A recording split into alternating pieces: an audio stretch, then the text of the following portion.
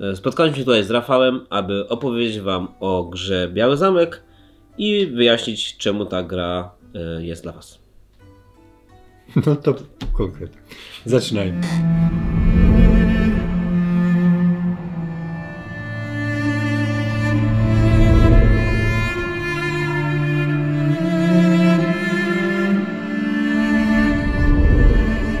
E, To Grzegorz, e, powiedz proszę, dla kogo to jest gra? Więc Biały Zamek, czyli powiedzmy kontynuacja Czerwonej Katedry, o czym więcej za- zaraz powiemy, to także jest gra średniej ciężkości euro. Czyli dla fanów, tych ludzi, którzy chcą sobie troszkę policzyć, e, porzucać sobie kostkami w tym wypadku, e, poplanować, a niekoniecznie walczyć nad stołem z, z konkurencją i zmagać się z, z totalną, z totalnym chaosem, losowością i przeciwnikami. Więc jeśli lubisz gry, e, gry euro, pięknie wykonane w dobrej cenie, to jest to gra tak w dużym ogólnym skrócie e, dla Ciebie. A tu jeszcze chyba dochodzi ten czynnik, e, że e, to jest gra, jeżeli masz pełne półki i bardzo chcesz kolejne euro, ale bardzo nie masz jak już go zmieścić, to Biały Zamek realizuje tą strategię, którą znamy z tej serii Garfield Games, ale także właśnie z Czerwonej Katedry od, od Devilów, e, czyli małe pudełko wypchane po brzegi, kryjące zaskakująco głębokie, e, głęboką grę w sobie, nie? Zaskakująco głębokie euro. Jest to taka tendencja, którą w, gra, w grach Devila, czyli regionalnego wydawcy, można, można do jakiegoś czasu widzieć i dokładnie Czerwona Katedra jest wyznacznikiem, a Biały Zamek doprowadza do granic szaleństwa. Oni powiększyli pudełko, ale ono po prostu... Tam wręcz trzeba wrzucać niektóre komponenty jak dodatkowe instrukcje, że to żeby zmieścić wszystko, bo jest e, wypchane absolutnie po brzegi i nawet wtedy lekko się jeszcze unosi. Więc e, jeśli chodzi o e, taki stosunek zawartości do ceny, to jest chyba poziom maksymalny. To co, rzucilibyśmy okiem na to, jak tu wygląda to mechanicznie, co? Absolutnie. Więc mechanicznie mamy tutaj taką kwintesencję krótkiej kołderki. E, ludzie tam widziałem już komentują, czy to właściwie jeszcze jest kołderka, czy to już kocyk, czy to właściwie jakaś chusteczka, bo faktycznie e, tutaj mamy jedynie 9 akcji, czyli weźmiemy sobie z tych kości e, 9 akcji w ciągu gry e, oraz e, no i będziemy musieli z nimi zrobić wszystko, żeby wygrać. Więc jakby musimy dobrze planować, nie ma tu żadnych zbędnych ruchów, maksymalne nastawienie na efektywność, wydajność i, i, i zwycięstwo. W każdej rundzie, a takich rund są trzy, każdy gracz będzie miał trzy tury, lecimy sobie w kółeczku i e, każda tura gracza wygląda tak, że wybieramy jedną z kości dostępnych e, na jeden z tych trzech mostków e, i wsadzamy ją e, na jakieś pole, czy to na planszy głównej, czy na naszych planszkach. E, Pole, które jest zaznaczone, że jest właśnie na nim miejsce na kość, nie? Mm, I teraz w momencie, kiedy stawiamy taką, taką kość, odpala się taki łańcuch działań, czyli w pierwszej kolejności dajemy i porównujemy z wartością e, tej kości, która tutaj jest albo nadrukowana, albo się już tam zdążyła znaleźć. Jeżeli e, nasza wartość jest większa niż mm, ta e, wydrukowana, wtedy dostajemy różnicę w monetach. Jeśli ona jest niższa, to wtedy my musimy dopłacić z własnych zasobów. I następnie y, zerkamy. Ja oczywiście położyłem to y, w takim miejscu, gdzie nie ma akurat miejsca na, na miejsce. pomarańczową kość, ale tutaj na przykład byłoby fajne combo, bo nie tylko jest jedno miejsce, ale wręcz dwa. Mm, I teraz takim kolorem tej kości, pomarańczową y, kością odpalamy takie efekty, jakie są właśnie na tym polu dla tej kości przeznaczone. I ja powiem, że tutaj w- e, dwie rzeczy są bardzo ważne. Czy pierwsza jest świetna zrobiona symbolika, bo tu mamy piękne rozgraniczenie, co jest jakim jednorazowym bonusem, czyli coś, co jest fajnym dodatkiem i główną akcją, no, która jest clue. Jakby to chcesz robić, ponieważ to ci będzie, e, to na, tym- na tym zdobędziesz najwięcej punktów. A druga sprawa, wybór kości ma o tyle gigantyczne znaczenie, że jeśli wybieramy tylko te krańcowe, prawda, z mostku i teraz Hop. następnie przeskakują, to jest, czyli one, te wartości dostępnie się zmieniają, a co ważniejsze, ta pierwsza wartość, czyli najniższa, potencjalnie wredna, bo musimy dopłacić, ale ona ma w sobie specjalny bonus, który dostajemy tylko jeśli bierzemy właśnie kość z tej strony, czyli e, taką zmieniającą się pulę tutaj surowców, które dostajemy od, zależności od tego, co będziemy robić w grze. Tak jest. W momencie, kiedy my bierzemy tą kość, wtedy zerkamy na e, symbol latarni u nas na naszych planszkach i tutaj się pojawiają różne ikony, które mówią nam, e, a za to dostaniesz i w tym przypadku ja dostanę monetę, dostanę ryż i w kolejności e, w, miarę postępu gry tych kart będzie mi tutaj przybywać i e, odpalenie tej niby najsłabszej kości będzie miało coraz to silniejszy efekt na mnie. Jest to oczywiście jedna, jedna rzeczy, które warto rozważyć podczas gry, możliwych taktyk czy też strategii do wykonania. Więc to jest chyba w taki bardzo uproszczony sposób bardzo fajna sprawa. Druga rzecz, jeśli chodzi właśnie o te główne akcje, bo przed sobą mamy planszece gracza poza surowcami, które oczywiście wydajemy, tutaj nic nowego nie ma. Mamy trzy rodzaje, trzy rodzaje naszych mepli i każdy z nich jakby służy do czegoś innego. Tak, tak, on trafia na jeden z, każdy taki rodzaj znacznika trafia do jednej z trzech głównych części planszy. Mm, to co mamy dworzan, tak? Oni nam trafiają, oni są na samej górze i oni, ich wysyłamy specjalną akcję dworu, e, wysyłamy ją, ich na dwór, tak? Oni sobie trafiają właśnie tutaj do przedsionka. E, żeby to zrobić, musielibyśmy odpalić taką akcję, tak? Czyli gdybym tą pomarańczową kostkę tutaj dał, wówczas za jeden e, surowiec mógłbym odpalić taką akcję i wstawić tutaj swojego dworzanina oraz i w późniejszych akcjach oni mogą się będą się powoli wspinać. Wspinają się to, że jest fajne, że daje nam te karty, które tu zabieramy, odpala akcje z tych kart. To, co jest właśnie fajne, mamy tylko 9 akcji, ale właściwie każda z nich, tych głównych, odpala kolejne. Czyli tutaj biorąc kartę, od razu odpalam z niej jakąś akcję, kładąc tutaj, rozwijając właśnie ten sobie te pole, e, pole latarni. To zasymulujmy to, nie? Bo y, w momencie, kiedy y, wrzucamy do dowolnego pomieszczenia w miarę tego, za to, co zapłaciliśmy, y, naszego dworzanina, wtedy odpala się ten taki łańcuszek działań, czyli ta nasza karta akcji, a zawsze na planszce mamy taką jedną, e, czy to startową, czy później właśnie jakąś pozyskaną, ona zmienia się właśnie w ten bonus, o którym przed chwilą mówiliśmy, e, bonus e, za latarnię, a następnie ta karta akcji trafia nam tutaj. Jedną z tych białych, jeden z tych białych efektów możemy sobie odpalić mm, i trafia nam w to miejsce nowa karta akcji, Czyli jakby jedna rzecz jest to, co, o czym ty mówiłeś, że y, nam mm, zwiększamy sobie jakby ilość efektów po wykonaniu jakiejś tam bazowej akcji. To jest jakby jedna rzecz, ale druga rzecz jest taka, y, że cała ta plansza nieustannie ewoluuje, nieustannie zmienia się ta paleta efektów, y, którą ona oferuje, co też raz, że zmienia kwestię regrywalności tego tytułu, a dwa, fajnie pozwala reagować na to, e, co robią inni gracze albo czego my potrzebujemy. E, bo jeżeli tylko widzimy, że jest tutaj jakieś takie combo dla innych graczy, to wtedy możemy tam spróbować je wziąć, popsuć, zmienić na coś nowego. Lub na odwrót szukam, potrzebuję jakieś konkretne, jest puste pole, potrzebuję jakiejś konkretnej akcji, to mi nie pasuje i próbuję w ten sposób sobie pomóc. Więc jakby tak dokładnie opcji jest, opcji jest parę. E, teraz bym powiedział tutaj, pasuje, nie, przejdźmy do najniższego, najniższego e, pola, bo to są, to są wojownicy, których wysyłamy tutaj do, e, na, na ćwiczenia. W zależności, to jest akcja, no, akcja to odpowiednio symbolem, symbolem i w zależności od kosztu mamy różne rodzaje bonusy. One wszystkie są zmienne. Tutaj najdroższym polu odpalamy dwa, tutaj pojedyncze. Bardzo fajna sprawa, natomiast te jak wszystko w tej grze jest ze sobą powiązane, ponieważ oprócz tego, że w trakcie gry dostają bonus, czyli tutaj taki, tutaj odpalamy akcję, na końcu gry mnożymy sobie sumę otrzymaną z tych pionów przez e, liczbę pionów tutaj. Czyli jeśli pójdziemy tylko w dworzan, no fajnie, coś sobie tam ugramy, bo każdy z nich jest warty punkty. Jak pójdziemy tylko w nich, fajnie, dostaniemy tutaj jakieś fajne akcje, bonusy, te, też warto. Natomiast dopiero kombinowanie razem pozwala zdobyć naprawdę, naprawdę spore punkty. Mhm. I trzeci rodzaj e, jednostek, trzeci rodzaj znaczników, jaki mamy, to są ogrodnicy. I takiego ogrodnika wysyłamy, uwaga, do ogrodów. E, żeby tam wysłać, potrzebna jest oczywiście akcja e, odpowiednia mm, i gdy stawiamy, musimy zapłacić koszt, koszt w ryżu.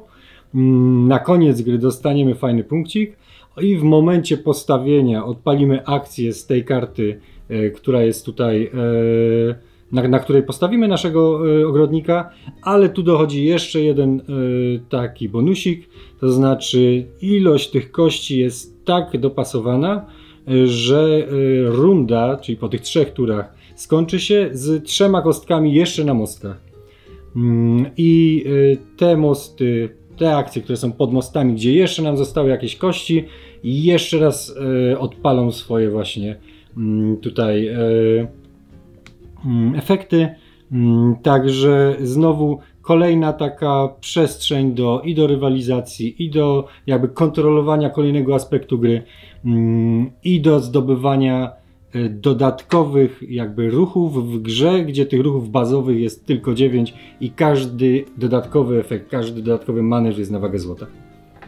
Dokładnie tak. Jest to szansa, żeby komuś zabrać ostatnią kosteczkę i jego, jego robotników e, nie odpalić i vice versa chcemy jak najbardziej dbać o to, żeby korzystać z innych pól tam, gdzie naszych robotników nie ma, e, czy też e, farmerów, rolników, czy jak się oni tam zwią.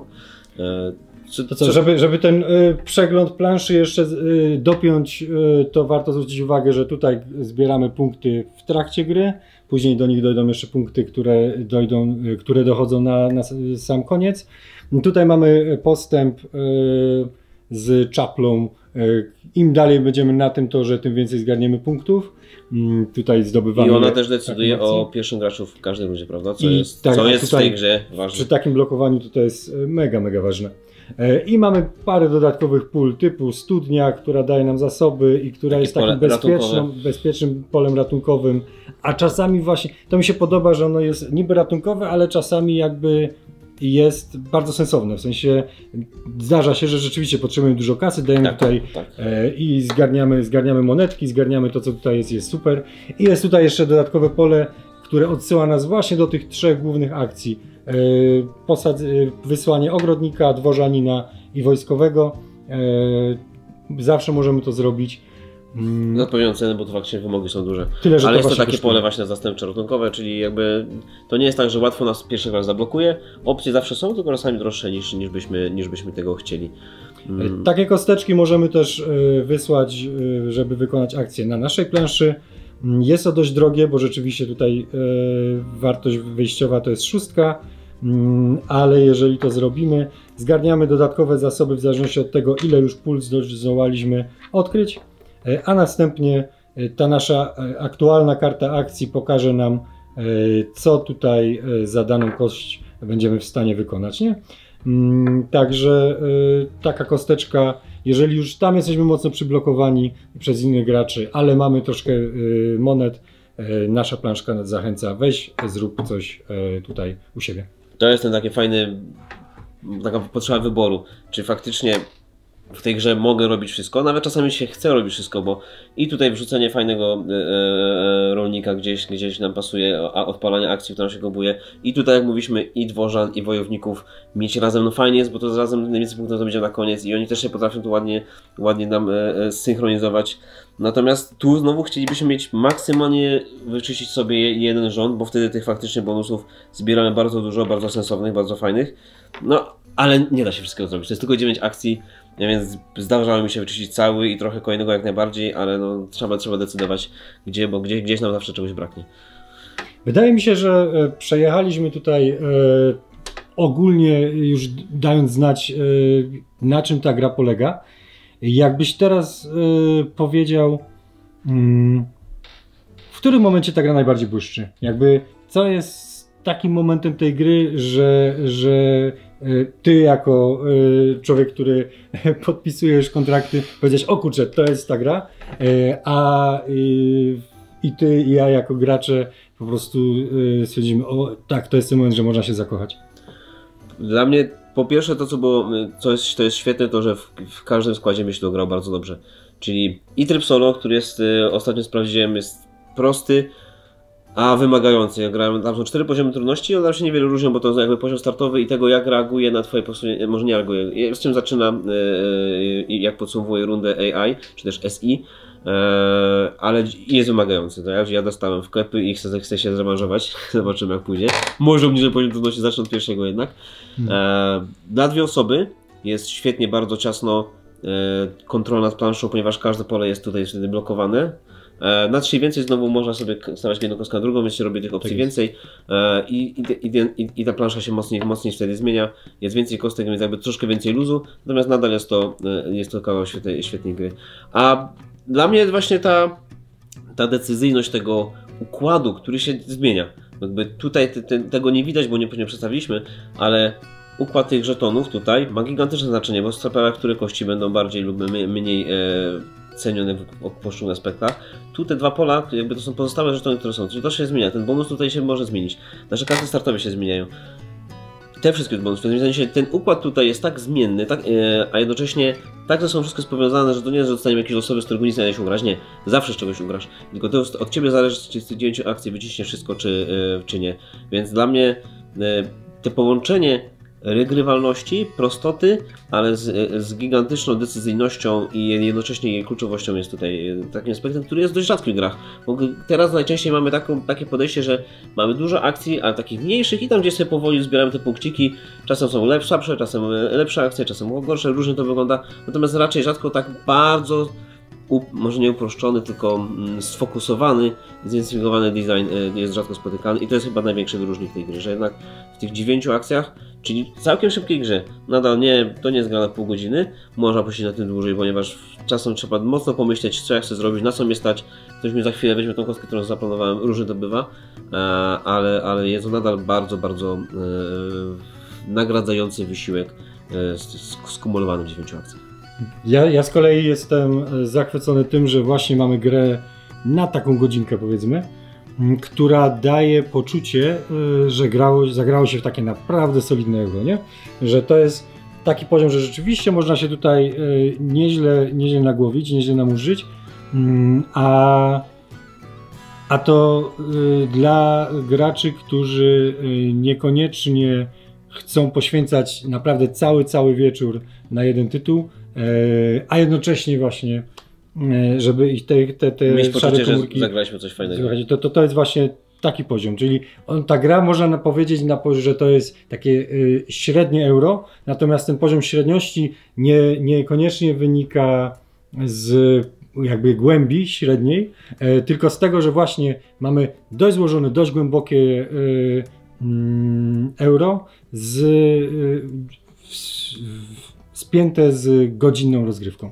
Dokładnie. Drugim, drugim, aspektem, który się po prostu rzu- rzuca na, o, w oczy pierwszy, jest po prostu fenomenalne wykonanie. Za tę cenę, nie ukrywajmy, ja, jak grę testowaliśmy oryginalnie, to było online, wygląda fajnie, Mhm. jakby dobry tytuł, mamy kontynuację Czerwonej Katedry, yy, wygląda dobrze na online, ale nie spodziewałem się tego, jak to będzie w końcu na stole wyglądać. e, Te wszystkie komody wcześniej były finalne. e, Ile dobra jest w tym pudełku. I to jest jakby no, e, back for the money. Rewelacyjny, rewelacyjny widok. Już teraz mówiłem, ale warto podkreślić, bo faktycznie jest to bardzo przyjemna niespodzianka po otwarciu pudełka. Jak dobrze ta gra wygląda, ile ma komponentów pięknie wykonanych. Muszę, muszę tutaj przekazać, przybliżyć, to jest wielokrotnie. Jest to overproduced, ale jest to takie overproduced, że jeśli nie kosztuje to nagle e, gigantycznie liczby kasy, to się docenia. Po prostu docenia, kiedy mamy taki komponent w grze i zamiast zwykłego kosteczki przesuwanej rundy możemy sobie taką palmę. To jest ryba. To jest, ryb, To jest to, ryba. to jest ryba. To jest ryba faktycznie. To był mój drugi, drugi wąt. E, palmoryba. Tak. E, czyli karp, karpkowi, tak? Pewnie pływający gdzieś tam. E, d- dobrze, teraz dodaję głos, bo ja mam jeszcze trzeci punkcik, ale to na koniec. Ja mam coś, co ty już, już nazwałeś, ale, ale mnie to e, bardzo rusza i, i, i jest super.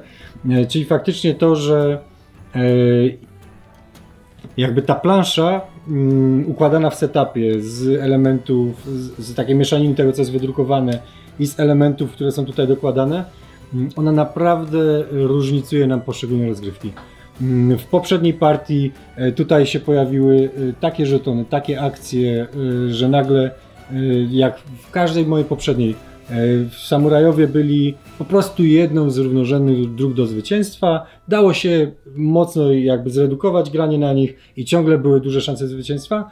Teraz e, ostatnia partia, tutaj było takie kompo, że dokładając jednego dało się albo jeszcze zyskać bonus, żeby dorzucić dworzanina, albo dorzucić jeszcze drugiego i nagle się okazało, że cała partia jakby zdecydowanie więcej punktów było do zdobycia e, przy dobrym zagospodarowaniu samurajów i kompletnie zmieniło to sposób myślenia o grze, e, więc jakby faktycznie jest tak, że mm, jak się siada do tego na, w początkowych partiach, to po prostu stara się człowiek opanować e, to tutaj jest i w miarę jakby zrównoważyć tą sałatkę punktową, nie?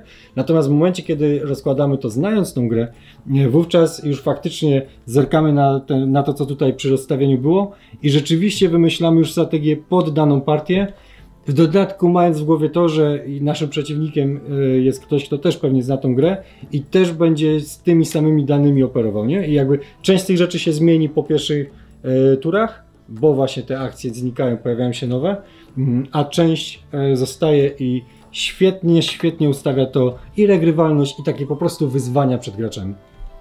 Natomiast tak jeszcze nieco ostrzegając, z tego co już po jak się pojawia angielska wersja gry, to wysłuchać w internecie e, i teraz ostatnich e, recenzji, to jest gra troszeczkę z gatunku Love or Hate, czyli faktycznie E, jest mnóstwo osób, e, no większość, bo gra jest hitem, jakby nie patrzeć, którzy, tak, którzy się też zakochali. Czyli ten cały e, minimalizm i, i oryginalny design ich zauroczył, ale znowu są ludzie, którzy po prostu stwierdzają, że siadają tego i to nie gra dla nich. Tak, jeśli muszą się skupić i wyżyłować maksymalnie każdą akcję, bo jedna, no jedna kostka położona to jest jedna dziewiąta twoich szans na zdobycie zwycięstwa, więc robisz jeden błąd i jest już lekko z tyłu dwa błędy i właściwie ratujesz z rozgrywki, to, to oni mówią, że kurczę nie, to jakby to, to za mało, za krótkim e, okresie czasu nie da się tego wszystkiego połączyć, więc jeśli lubisz siedzieć, sobie tam powoli rozwijać swój, e, swój, swoje, swój engine, swoje tablo, to nie, tutaj musisz wyżywać maksymalnie, więc tutaj czuj się lekko ostrzeżony, jeśli e, wolisz gry z takim slow pace, z, powol, z powolną budową i gdzieś tam kiedyś coś dochodzimy, to, to to nie jest gra dla Ciebie. Tutaj faktycznie od pierwszego ruchu Ty musisz już wiedzieć, co chcesz zrobić. No nie ma ruchu losowego. Zrobisz ruch zły i później to właściwie jest no to fajnie, drugie miejsce. Wydaje mi się, że fajnie yy, gdyby tak yy, nakreślić taką nie wiem, projektancką jakby perspektywę, to yy, ta gra jest biegu, po, po przeciwnym biegunie niż Paladyni Zachodniego Królestwa, nie? Paladyni, którzy mają bardzo wiele, bardzo różnych akcji i tam właśnie twoim zadaniem jest z takie, tą, tą taką obfitość zredukować i zmontować sobie swój silniczek. Tutaj z kolei tych ruchów, które masz jest, jest strasznie mało, tak jak trąbimy to non-stop, 9 akcji. I tutaj jakby jest właśnie z tej takiej nie z mnogości tworzyć coś, wykrystalizować, i, i, i zrobić działającego, tylko właśnie masz bardzo mało i teraz tak optymalizujesz, tak dokręcasz, tak dokładasz, żeby to było więcej niż się pozornie wydaje. E, fajna, inna perspektywa, e, niby w tym samym gatunku gier euro. Dokładnie tak, to mając 9 akcji na pewno na końcu gry nie będziesz miał poczucia, że nic zrobiłeś. Absolutnie nie. Te kombinacje dają, czyścisz planszkę, budujesz, masz, stawiasz, punktów zdobywa się faktycznie w okolicach tych, jak dobrze pójdzie, tych 40, ponad 40 zależy tam jak się wszystko się ułoży, ale jest to absolutnie do zrobienia. Nawet dodatkowo to, co e, rozmawialiśmy sobie tak e, przed, przed nagraniem, e, czyli co sami twórcy gry podkreślają, czyli to są designerzy, którzy stworzyli Czerwoną Katedrę. I właśnie Czerwona Katedra właśnie też stoi troszeczkę jak właśnie Paladini w opozycji do tego, czyli tam tych ruchów poszczególnego gracza było bardzo dużo.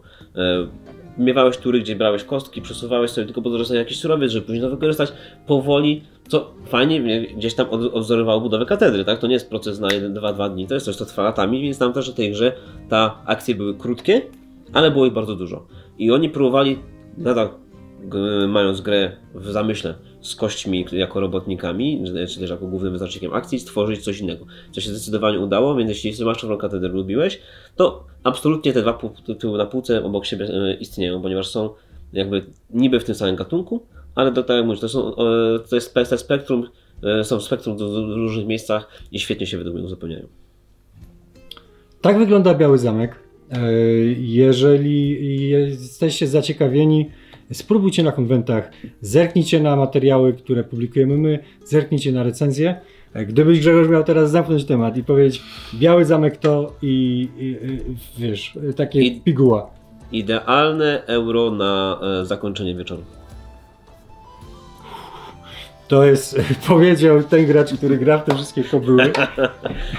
Ja z kolei powiem, e, jeżeli e, tak jak ja, nie jesteście wielkimi eurograczami, mm, ale jeżeli jest taki przekonujący design, to lubicie siąść i zagrać i nie poświęcać właśnie 3-4 godzin całego wieczoru, to dla takich przygodnych eurograczy jak ja ta gra e, Czyli- sprawdza się znakomicie. Idealne, zak- idealne zakończenie wieczoru lub lekki wieczór.